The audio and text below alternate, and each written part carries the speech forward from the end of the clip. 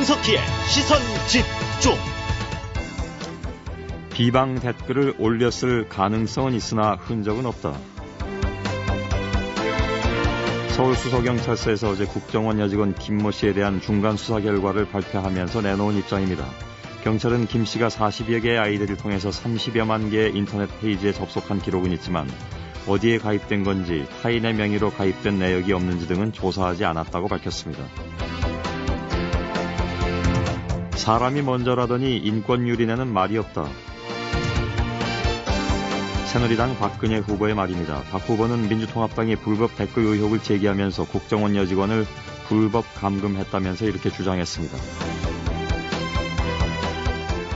감금이 아니고 잠금이다. 경찰대 사임 의사를 밝힌 표창원 교수의 말입니다. 표 교수는 국정원 여직원 선거 개입 의혹 사건에 대해서 새누리당이 불법 감금이라고 주장한 것과 관련해 법을 집행하려는 선관위 직원과 경찰관이 문을 열어달라고 했는데 국정원 여직원이 문을 열어주지 않은 것 뿐이라면서 이렇게 말했습니다. 정치 시작한 지 10개월 된 분이 이런 식으로 하면 안 된다. 새누리당 이정현 공보단장이 민주통합당 문재인 후보에 대해서 한 말입니다. 이 단장은 경찰의 국정원 직원 대, 선 개입 의혹 사건 수사 시점을 문제 삼는 문 후보에게 정치를 바르게 배워야 한다면서 이렇게 말했습니다. 깨어난 4천만의 유권자들이여 남녀노소 한 사람도 없이 남김없이 모두 투표장으로 가라. 도올 김명옥 어, 교수가 19대 대선을 앞두고 발표한 혁세 경문의 한 내용입니다. 이른바 이 시국 선언문은 어제 포털 실시간 검색어 1위를 차지하면서 화제가 됐는데요. 김용옥 교수는 체제 밖에서 천리를 가는 것보다 체제 안에서 한치를 가는 것이 어렵다면서 투표 참여를 독려했습니다. 12월 18일 화요일 아침 손석희의 시선집중이 선정한 말과 말이었습니다. 오늘 3부는 두 분의 원로 정치인을 스튜디오에 모시겠습니다. 새누리당 박근혜 후보 캠프의 김종인 국민행복추진위원장, 민주통합당 문재인 후보 캠프의 윤여준 국민통합위원장 두 분인데요. 내일이 바로 대선이고 오늘은 선거운동할 수 있는 마지막 날이기도 합니다. 바로 오늘 양 캠프의 두 원로를 한자리에 모시게 됐습니다. 두 분의 지지 토론을 잠시 후부터 진행하겠습니다.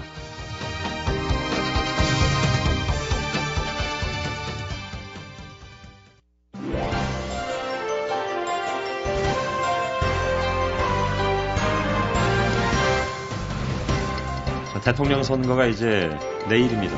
내일 아침 6시부터 일제히 투표가 시작이 될 텐데요. 물론 뭐 마음을 다 정하신 분들도 많이 계시겠습니다만 마지막 순간까지도 고민하신 분들이 계실 것 같습니다. 특히 오늘까지도 아, 누구를 찍어야 될까 하는 고민을 하고 계신 분들이 계실 것 같은데 어, 뭐 여론조사 결과가 발표되고 있지는 않습니다만 아무튼 초박빙이라는 것은 누구나 다 알고 있는 사실인 것 같습니다. 후보들도 그래서 한 표 한 표 끌어모으기 위해서 오늘까지 강행군을 한다고 하는데 오늘 3, 4부에서 유권자 여러분들의 마지막 선택을 돕기 위한 어, 자리를 마련했습니다. 어, 어제 이미 제가 예고해드렸습니다만 새누리당 박근혜 후보 캠프의 김종인 국민행복추진위원장님 안녕하십니까? 네, 안녕하세요. 예, 예. 그리고 민주통합당 문재인 후보 캠프의 윤여준 국민통합위원장님 안녕하십니까? 네, 안녕하세요. 예. 이 두 분의 정계 원로분들을 오늘 어, 스튜디오에 모셨습니다. 두 분이 방송에서 이렇게 마주 앉아 하시긴 처음 아닐까요? 처음입니다. 예, 예. 음. 원래 뭐 잘 아시는 사이. 아, 그럼요. 네. 되고. 어, 연배는 윤여준 위원장님께서 죄송스럽게도 한살 후입니다. 하나 위시더군요. 예. 에, 근데 뭐 연배 따지기엔 좀 송구스러운 분들인 것 같습니다. 아 근데 뭐 식견이나 예. 예. 뭐 사회적 의상은 제가 따라갈 수가 없죠. 아, 천만에 아, 천만에 맞습니다. 예. 예. 오늘 시작이 좋은 것 같습니다. 예. 어, 우선 뭐 이제 바로 첫 질문으로 들어갈 텐데요. 왜 박근혜 후보인가? 왜 문재인 후보인가? 어, 아마 그 두 분께서 흔히들 얘기하기를 이제 상대 진영으로 가신 분들이라고들 어, 언론에서도 모두들 얘기를 해서 나름대로 이제 어, 지지자로 나서기까지 어, 고민들도 좀 있으셨을 것 같고요.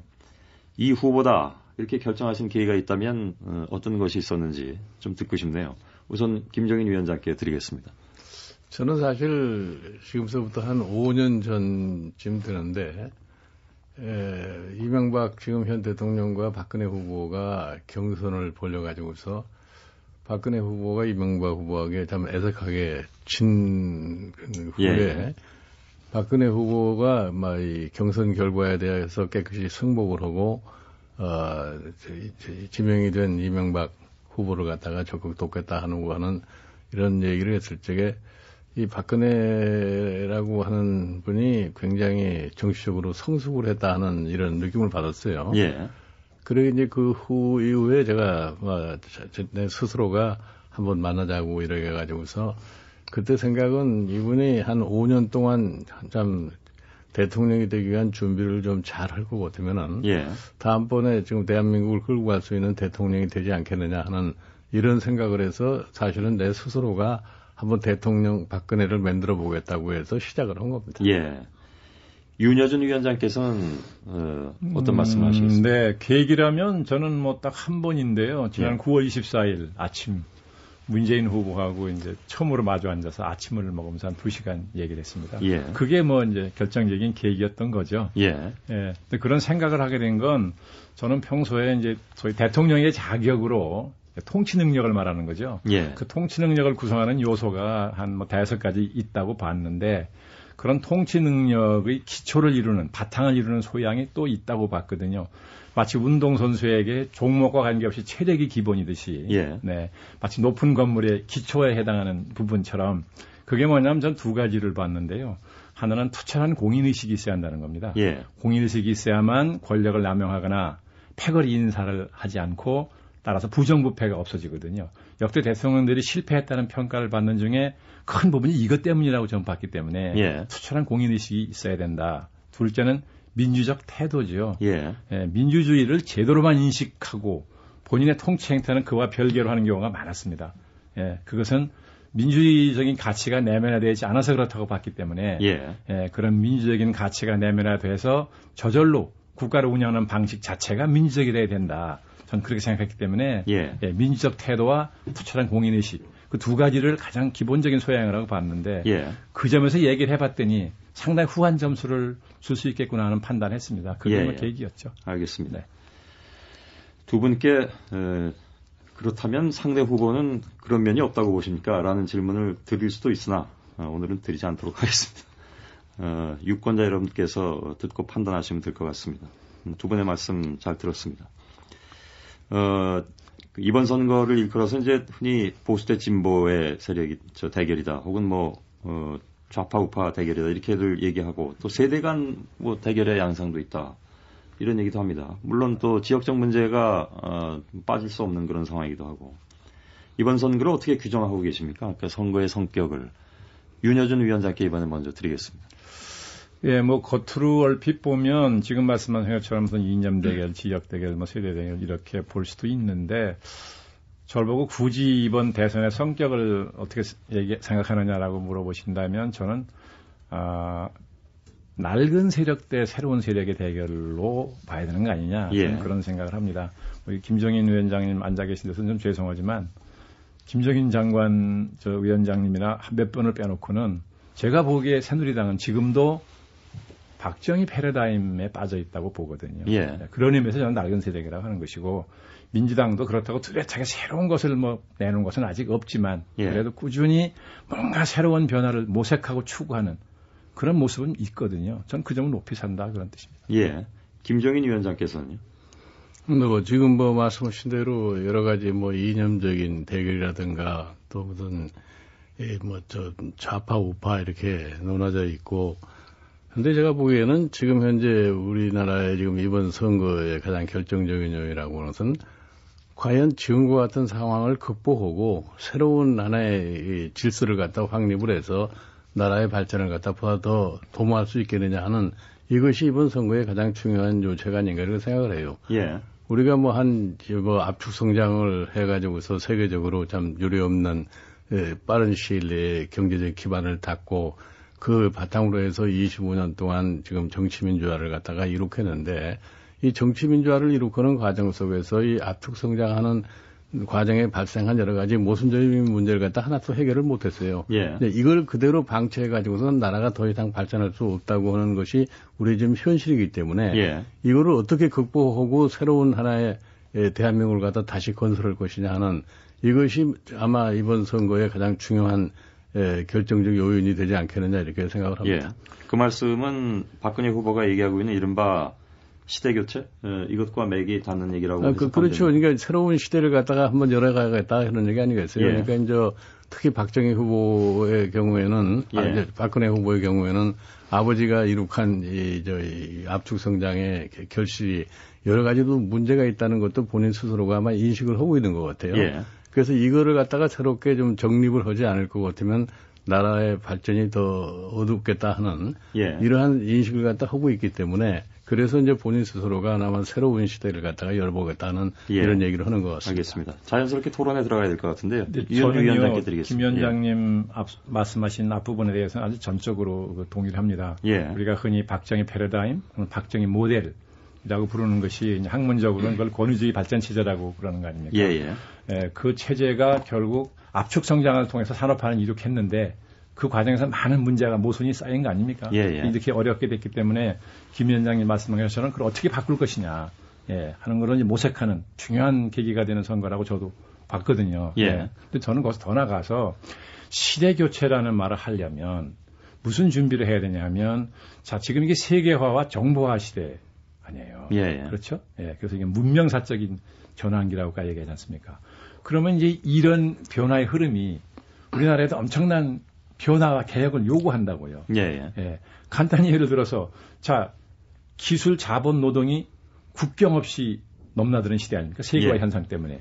그러면 중국이나 일본처럼 방대한 그 값싼 노동력을 가진 나라도 이웃하고 있고 자본과 기술이 우리보다 우월한 나라가 또 옆에 일본이 있어요. 예. 그럼 이런 상황 속에서 어떤 운영 국가 운영 원리로 국가를 운영해야 발전을 보장할 수 있느냐 하는 거 굉장히 고민해야 된다고. 예, 예. 거기 따라서 뭐 정부 형태를 어떻게 할 것이냐, 권력 구조 어떻게 바꿔야 되느냐, 행정 체제는 어떻게 바꾸느냐. 이게 다 따라서 고민해야 될 것들이죠. 예. 네, 그다음에 정치를 보더라도 정보통신혁명 때문에 이제 정당이 필요 없어진다고 그러면 학자들이 정치인이라는 직업도 없어진다는 거죠. 왜 그러냐 하면 정당을 통하지 않고서도 개인의 의견이 순식간에 공무원이 될 수 있는 길이 열렸잖아요. 정보통신혁명 예. 때문에.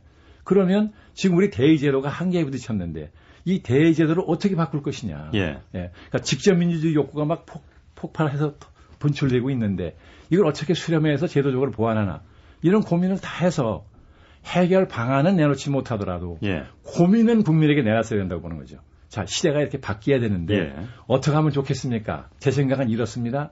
국민의 의견을 구하고 뭐 전문가에게 여러 구하고 하는 이 정도라도 했어야 예. 시대 교체를 얘기할 수 있는데 아쉽게도 지금 보면 어느 후보도 그 수준까지는 말씀하시지 않고 있어요. 예. 부문별 공약만 얘기하지. 예. 저는 그게 몹시 안타깝게 생각하는 거예요. 예. 이 부분에 대해서 김종인 위원장께서는 어떻게 받으시겠습니까? 저도 뭐 이 점은 우리 저 윤여준 저 위원장님 말씀에 동의를 하는데 지금 사실 우리가 21세기를 넘으면서 하는 소리가 뭐냐면 뭐 정부와 사회 지식 기반 사회 이렇게 얘기를 하지 않습니까?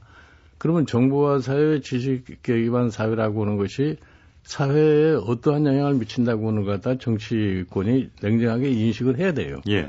근데 우리가 뭐 21세기에 들어와가지고 벌써 10여 년이 지났습니다만은 정치권이 그와 같은 인식을 갖다 허지를 못했기 때문에 예. 결국 가서 뭐 최근까지 일어나고 있는 그 안철수 현상 같은 것이 생겨나지 않았겠어요? 예. 근데 이 안철수 현상이라고 하는 것이 무엇이라고 하는 것을 갖다 정치권이 아직도 그렇게 냉정하게 인식을 못한 것 같아요. 예. 근데 이, 이거, 이거를 타파하려면은 국민이 어떠한 지금 생각을 하고 있다고 하는 것을 갖다 알아야 된다고 생각하는데 지금 국민들은 이런 시골에 가가지고서는 지금 대한민국의 장래가 상당히 어둡다.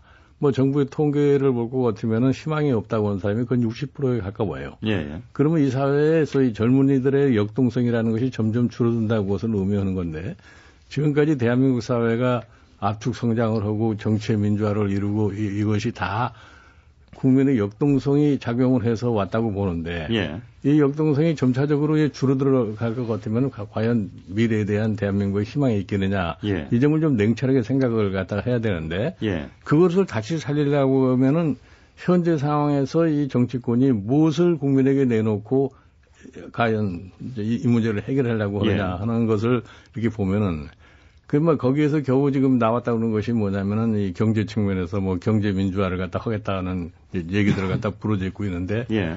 과연 그걸 갖다가 어떠한 방법으로 실천할 수 있겠느냐 하는 이런 것에 대해서는 아직도 좀 미약한 점이 많이 알겠습니다. 있는 것 같아요. 예. 그래서 우리 전 윤여준 위원장께서 말씀하신 대로 뭐 이 정치제도, 어, 정부에서 이 시스템 같은 거 이런 것들이 다 어떻게 바꿔야 되느냐 하는 예. 뭐 이러한 것들은 지금 이 선거를 앞두고서 누, 참 양쪽 캠프에서 별로 이렇게 제대로 내놓은 안이 없어요. 예.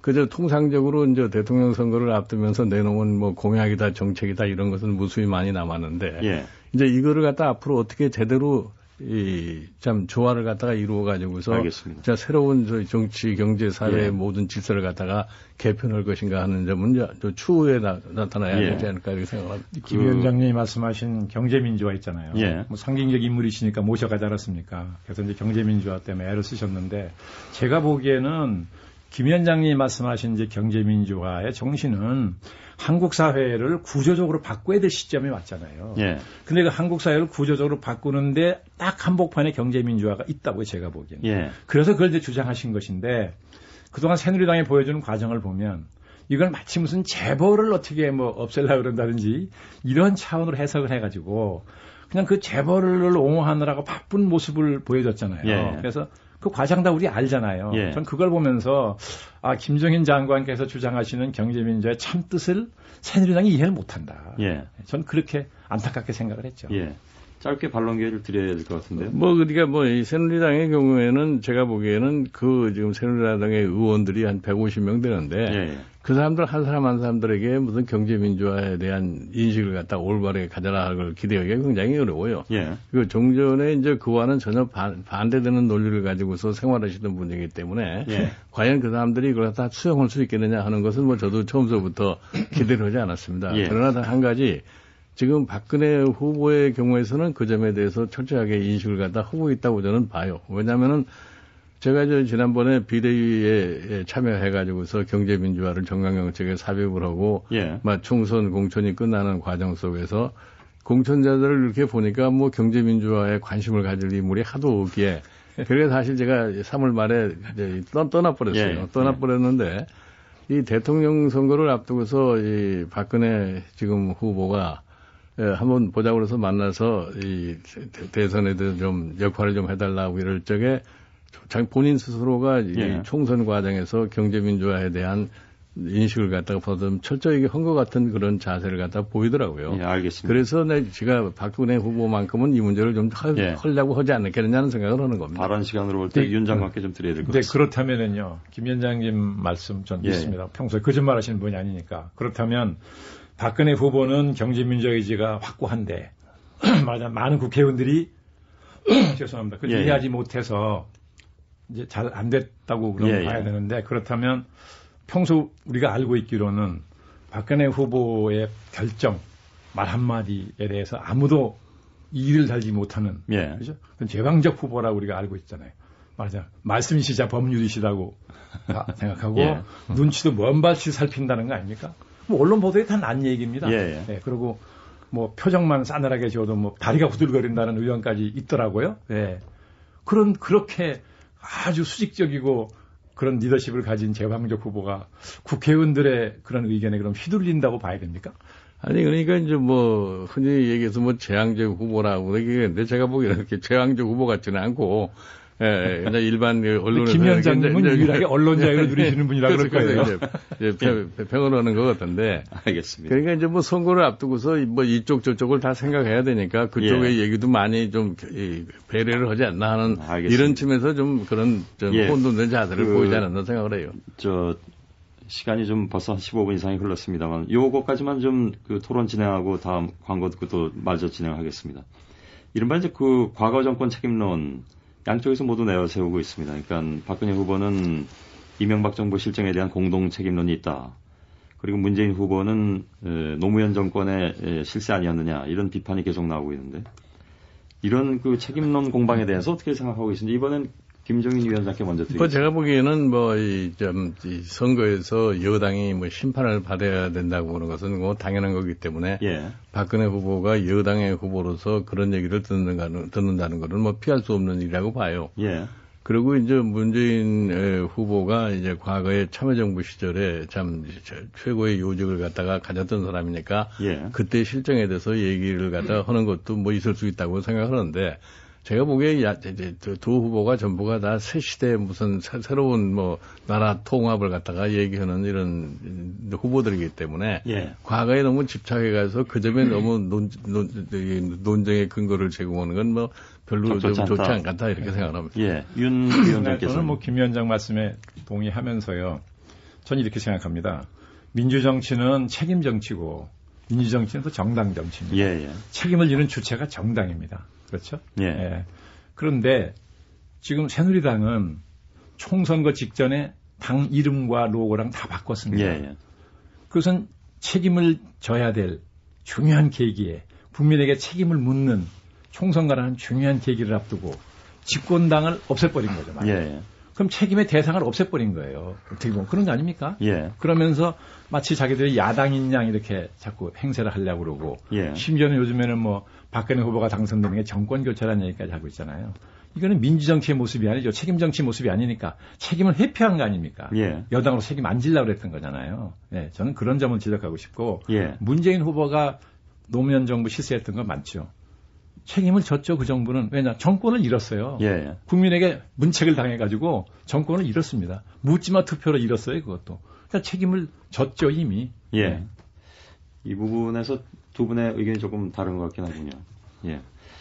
자, 어, 여기서 광고 좀 드려야 되겠습니다. 7시 40분이 다 돼가는데 광고 듣고 어, 이번에는 광고 끝난 다음에는 윤 위원장께 먼저 질문 드린 순서를 갖겠습니다. MBC 95.9 MBC 라디오.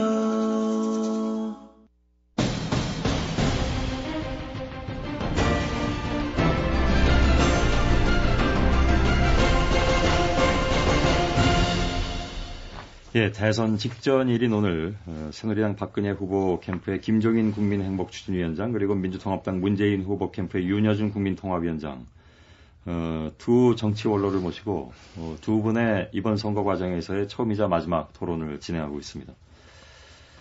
이번에는 윤여준 위원장께 먼저 좀 어, 네. 발언 순서 드리겠습니다. 박근혜 후보는 일반적 통합의 리더십, 100% 대한민국을 건설하는데 모든 것을 바치겠다고 얘기한 바 있고요. 문재인 후보는 지역계층 이념을 극복한 대통합을 역시 또 강조하고 있습니다. 국민 통합에 누가 과연 더 적합한 후보인가? 워낙 또 우리가 좀 그 이른바 좌우, 뭐 진보 보수 이렇게 나뉘어져서 갈등이 좀 심한 편이니까 이게 굉장히 그 양 후보가 모두 중요한 문제라고 생각한 것 같습니다. 어, 이 점에 대해서 윤여준 위원장께서 어떻게 생각하고 계신지 먼저 드리겠습니다. 네, 결국 이제 통합의 개념을 어떻게 보느냐가 굉장히 중요하다고 생각하는데요. 예, 예. 통합이라는 게 어느 특정 개인이나 특정 집단의 생각에 국민 전체가 따라오는 것이 통합이 아니죠. 말하자면 대립이나 갈등이 없는 어떤 상태가 통합이 아니라고 저는 생각을 합니다. 민주주의 사회에서 갈등이라는 건 아주 자연스러운 것이고 예. 어떻게 보면 생산적인 에너지이기도 합니다. 그것을 국회에서 이제 조절하고 완화해서 하나의 통합된 국민 의지로 만들어내야 되는데 그걸 못해서 이제 이게 문제가 됐던 것이죠. 예. 갈등 자체가 나쁜 건 아니죠. 예. 그러면 갈등의 당사자들이 모여 앉아서 대화 타협을 통해서 민주주의가 대화 타협을 통해서 운영되는 제도 아닙니까? 예. 대화 타협을 통해서 공유할 수 있는 부분, 중첩되는 부분이 있습니다. 그 부분을 찾아 나가고 그걸 일단 먼저 중첩되는 부분을 찾으면 그걸 입법화해서 제도화하고 예. 하는 이런 노력해가는 과정, 끊임없이 중첩되는 부분을 찾아나가는 과정. 전 이것이 통합이라고 보거든요. 예. 그래서 저는 늘 이런 얘기를 합니다. 정치학자들이 민주주의는 어떤 상태가 아니라 과정이다 그러죠. 끊임없이 민주주의는 보완해 나가야 된다는 거죠. 완성된 예. 상태가 있는 게 아니다. 저는 통합이라는 것도 국민 통합이라는 것도 어떤 완성된 상태가 있는 게 아니고 끊임없이 찾아가는 예, 합의점을 찾아가는 과정이다. 예. 저는 그렇게 보거든요. 이제 그러려면 상대방의 존재를 인정하는 정도가 아니라 존중해야 되죠. 예. 그리고 따라서 상대방의 말을 진지하게 들어야 됩니다. 겸손하게. 또 자기 말도 겸손하게 하고. 예. 그리고 그래서 상대방을 설득하고 자신도 상대방에게 설득당할 때도 있는 것이고. 예. 그런 태도가 없이는 통합을 할 수가 없죠. 그러니까 저는 그래서 그 그동안 박근혜 후보가 뭐 다른 많은 좋은 자질을 가진 가진 분인 건 저도 알지만 리더십의 성격이 매우 수직적이고 권위주의적이다라는 것도 그런 점을 굉장히 걱정을 했고 예. 또 최근에 100% 대한민국이라는 게 뭐냐는 거예요. 예. 그 개념을 설명한 일 없어 잘 모르겠는데 예, 예. 저는 100% 대한민국이라는 말을 들을 때마다 조금 불길하게 생각하는 거죠. 아, 저 박 후보가 혹시 예. 모든 국민이 자기 생각에 동의하는 상태를 자꾸 염두에 두고 있는 거 아니냐 하는 그런 걱정을 할 때가 있습니다. 예. 네. 김종인 위원장께 반론 기회 드리겠습니다. 뭐이 박근혜 후보가 100% 대한민국이라고 하는 것은 제가 보기에 무슨 자기를 중심으로 해서 모든 사람을 다 한꺼번에 끌고 가겠다는 이런 개념보다는 가급적이면은 좀 사회가 보다 더 협력하고 이 조화를 이루는 이러한 사회를 만들겠다 하는 것이 뭐 100%라는 표현으로 쓰지 않았나 이렇게 생각을 합니다. 예. 그러니까 뭐 어떻게 보면은 통합이라고 하는 것이 그 인위적으로 이게 잘 되는 것이 아니에요. 그러니까 상대방을 좀 배려를 하고 이게 원래 뭐 자본주의 경제 체제라고 하는 것이 본질적으로 사랑과 질시가 한꺼번에 작동을 해야지 그 효율과 안정이 유지될 수가 있는 건데 예. 이게 뭐 100% 조화를 이루고 100% 이렇게 통합이 됐다고 그래서 그 사회가 그러면 전 발전할 수 있느냐면 그건 그렇게 보질 않습니다. 예. 그러니까 이제 인간이 타고난 그 속성대로 서로의 질시를 하고 그 약간의 갈등 구조를 갖다 가지면서 거기에서 좀 사랑이 베풀어질 것 같으면 조화가 이루어지지 않겠느냐는 이런 사회를 추구하는 것이 일반 통합이라고 저는 이렇게 생각을 해요. 예, 예. 그러니까 뭐 지도자가 아무리 잘났다고 그래서 모든 사람을 갖다가 뭐 하나의 그이 단위로다가 묶어 가지고서 일치를 시킬 수는 없는 거거든요. 예. 그러니까 지금 박근혜 후보가 100% 대한민국이라고 해서는 가급적이면 그런 방향으로 갈 수 있도록 노력을 한번 해보겠다 하는 것이지 꼭 100%를 만들겠다는 그런 뜻은 저는 아니라고 그렇게 생각합니다. 말씀 듣고 보니까 안심이 되네요, 좀. 네. 예. 두 후보 모두 사실 지금 또 한 가지는 서민하고 민생을 강조하고 있습니다. 어, 그런가 하면 어, 서로를 향해서는 또 서민과 민생을 논할 자격은 없지 않느냐 이렇게 또 문제 제기하고 있는 상황이고요. 누가 서민과 민생을 위한 후보인가 두 분께서 보시기에는 어느 분이 더 적합한 분이라고 보시는지 이번엔 김종인 위원장께 먼저 드리겠습니다. 제, 가 보기에는 뭐이 저희 선거를 통한 민주주의를 하는 나라에서 당연히 그 서민이 좀 부자보다 훨씬 더 많아요. 우리나라를 보면은 한 20대 80 정도 이렇게 되기 때문에 예. 이 표를 먹고서 이 자라는 이런 민주주의라고 하는 것은 자연적으로 선거 때만 되면은 예. 서민 위주의 모든 정책을 내세울 수밖에 없지 않겠나 이렇게 생각을 합니다. 예. 그래서 그렇기 때문에 지금 양 후보가 다 똑같이 서민 위주 뭐 중산층을 갖다 예를 들어서 박근혜 후보가 70%로 다시 만들어 보겠다. 이제 이런 얘기를 한다고 하는 것은 만약에 이제 그런 식으로 갈 수밖에 없지 않느냐, 우리 현 사회가. 예, 예. 만약에 그걸 방치했을 경우에는 이 사회가 하나의 갈등 구조 속에 빠져가지고 그 경우에 따라서는 폭발도 할 수 있는 이런 그렇죠. 지금 이 시점에 와 있기 때문에 예, 예. 그건 뭐 당연한 거라고는 생각해요. 어느 후보가 대통령이 되든 간에 그 문제를 간과하고서는 정권의 안정을 갖다 유지하기 어렵다고 봅니다. 예. 그렇습니다. 그건 뭐 저도 네, 전적으로 말씀에 동의하는데 다만 이런 차이는 있지 않을까 하는 생각은 있습니다. 뭐냐면 예. 자, 서민이라는 거는 경제적으로 어려운 사람을 얘기하죠. 예. 우리 우리 말로 속되게 표현하면 춥고 배고픈 사람을 서민이라고 한다고 치면 예. 전혀 춥거나 배고픈 걸 경험해 보지 않은 사람은 춥고 배고프다는 게 관념입니다. 아, 관념에 머무는 것이다. 관념이죠. 예. 그런데 추워보고 배고픈 걸 경험해 본 사람은 관념은 아니죠. 그런 차이는 있을 거라고 봅니다. 예. 예. 음, 김종인 위원장께서는 혹시 재발론 하실 것이 있으신지? 뭐, 뭐 재발론이라기 보기에는 우리 저 윤효준 저 위원장님께서 저 박근혜 후보의 지금까지 그 살아온 과정 또 문 후보의 살아온 과정을 배울 것 같으면 문 후보가 서민의 애환을 더 잘 알수 있지 않겠느냐 예. 이렇게 생각을 하는데 한 나라의 지도자가 될 사람은 자기가 어떤 환경에서 자랐건 안 자랐건 간에 관계없이 예. 그 문제에 대한 인식이 철저하지 못할 것 같으면 지도자가 될 수 없다고 생각합니다. 그래서 예. 그 점에 있어서는 뭐 박근혜 후보에 대해서 별로 염려를 안 하셔도 되지 않나 이렇게 생각합니다. 예. 예. 아니 근데 인식은 그래야 되죠 분명히. 음. 인식은 예. 펼 겁니다. 그런데 사람의 막 가슴 속에 있는 연민의 정이라는 게 있어요. 예. 그렇죠? 뭐 인식 이전에 마음이 가는 거. 예. 그 연민의 정이죠. 아, 춥고 배고픈 사람에 대한 연민. 그죠? 예, 내 처지가 지금은 그렇지 않더라도 마음이 늘 그런 사람한테 가는 거. 예. 이건 연민의 정이거든요. 예. 저는 그런 차이는 있지 않을까 한다는 예. 말씀입니다.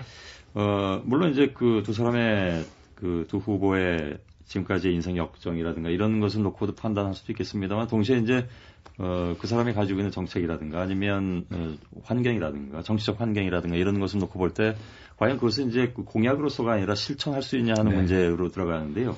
그 부분에 대해서는 어, 떻게 생각하시는지 김정인 위원장께 드리겠습니다. 제가 보기에 뭐 이 정치 사회 현실이 그러한 요구를 갖다 강렬하게 하고 있는데 예. 그거를 외면하고 할 것 같으면 그 정권이 안정적으로 유지가 되지 않습니다. 예. 그렇기 때문에 이거는 뭐 어쩔 수 없이 내가 한 나라를 갖다가 이끌고 가려고 그럴 것 같으면 나라의 하나의 전체적인 조화를 갖다가 형성을 해야 된다고 하는 것이 전제가 되어야 되기 때문에 예. 그건 뭐 어쩔 수 없이 하게, 하게 될 거기 때문에 뭐 그 점에 대해서 별로 염려를 하지 않았습니다. 예, 그렇죠. 그 부분은 뭐 어느 정부가 들어서든 김 위원장님 말씀한 것처럼 그 부분을 소홀히 했다가는 아마도 예, 자본주의 시장 경제 편하게 하기 어려운 상황이 올지도 모릅니다. 예. 네. 알겠습니다. 짧게 그냥 그 반론해 주셨네요. 어, 다음 문제로 좀 넘어가도록 하겠습니다. 사실 이번 선거는 뭐 어, 젊은 층이 또 어느 정도 관심을 갖고 참여하느냐, 또 젊은 층이 예, 요구하는 이른바 이제 그 여러 가지 이 문제들이 있지 않습니까? 그런 문제들을 누가 또 그럼 충족시켜 줄 것이냐 하는데도 굉장히 관심들이 많이 가고 있습니다. 어느 후보가 과연 젊은 세대한테 희망을 줄 수 있을 것인가 하는 문제. 그 문제는 윤여준 위원장께 드리겠습니다. 글쎄요. 얼핏 생각하면 전통적으로 늘 젊은 세대들은 야당 성향이 예, 예. 많다고 그랬죠. 예. 뭐 지금도 일반적으로 그런 속성이 있긴 하나 제가 보기에는 20대와 30대는 많이 좀 다른 거 아닌가 싶어요. 예. 네. 20대는 과거처럼 이렇게 뭐 무조건이라면 좀 지나치지만 어쨌든 기본적으로 야당 성향이라고 하기는 좀 다른 것 같은. 예. 네. 그렇게 느끼시는 거예요. 네. 예. 왜냐하면 이게 이제 조사를 정밀하게 해봐야 되는데요. 예. 저는 그런 경험이 없어서 뭐 수, 어떤 수치나 통계적인 근거를 가지고 말씀드리기는 어렵지만 예. 제가 평소에 20대를 자주 만나는 편입니다. 집단으로 예, 예. 예, 만나는 편인데 이 얘기를 들어보면 그걸 느낄 수 있어요. 아, 20대가 무조건 야당 지지하는 건 아니구나. 예, 실질적으로 무엇을 줄 수 있느냐를 생각한다는 그렇죠. 말씀이신가요? 예, 그런 그런 게 있습니다. 예. 예. 그리고 북한에 대한 태도 같은 것도 20대는 상당히 북한에서 동정적일 것 같고 어떻게 보면 좀 북한을 이해하려는 예, 예. 생각을 가진 것 같죠. 반드시 그렇지도 않더라고요. 예. 20대가 나름대로 우리가 말하는 global standard라는 거를 많이 이제 인식하잖아요. 예. 그런 기준으로 볼 때 북한은 그 기준이 새까맣게 못 미친단 말이죠. 예. 그런 걸 보고 실망하고 예? 어떻게 보면 수치감 같은 것도 느낀다는 예. 거 아닙니까? 그러다 보니까 북한에 대한 평가나 인식도 과거 20대하고는 많이 다르다고 생각이 돼요. 예. 예. 그래서 야당이 선거 전략을 세울 때 특히 20대가 전처럼 그냥 덮어놓고 야당을 지지하는 세대가 아니라는 예. 걸 인식하고 했으면 좋겠다는 생각을 할 때가 많았습니다. 예, 예. 김정인 위원장께서는요?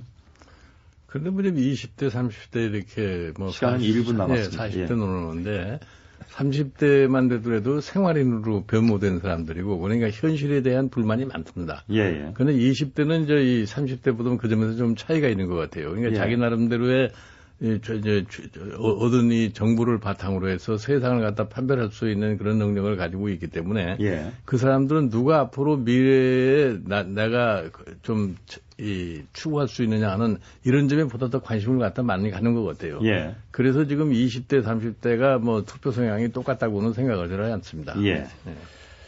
아, 시간이 1분 남았는데 여기서 더 어, 말씀을 나누긴 좀 어려운 상황인 것 같습니다. 그렇다고 두 분께 20초만 해주세요. 이건 음. 좀 그렇고. 아, 시간이 이렇게 빨리 갔네요. 예, 그렇게 됐습니다. 오늘 어, 양쪽 캠프의 정치 원로 두 분과 함께 예, 뜻깊은 시간이었다고 생각을 합니다. 어, 김종인 새누리당 박근혜 후보 캠프 국민행복추진위원장 그리고 윤여준 민주통합당 문재인 후보 캠프 국민통합위원장 두 분의 토론을 아주 잘 들었습니다. 많은 분들이 굉장히 관심을 가져주셨던 것 같습니다. 지금 포털 실시간 검색어에 아주 1위로 올랐다고 하네요. 저희 시선 입증 프로그램이. 그만큼 관심들을 많이. 김정일 위원장님 명성 때문에. 예, 두 분 토론 오늘 네. 잘 들었습니다. 고맙습니다. 네, 감사합니다. 예.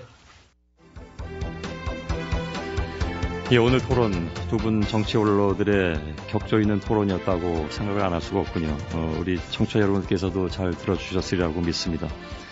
어, 오늘 굉장히 춥습니다. 어, 건강 조심하시고요. 내일도 또 굉장히 추운 날씨라고 합니다만 많은 분들이 투표장을 찾아주실 것으로 믿습니다. 내일 아침에 다시 찾아뵙겠습니다. 고맙습니다.